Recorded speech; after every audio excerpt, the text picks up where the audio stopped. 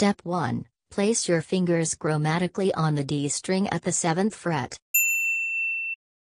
Step 2. Lift only one finger at a time and hold the others down.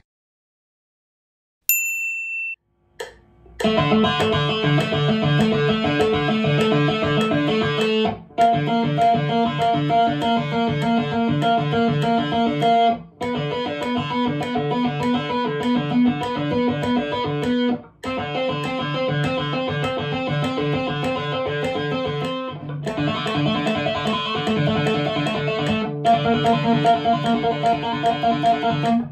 you.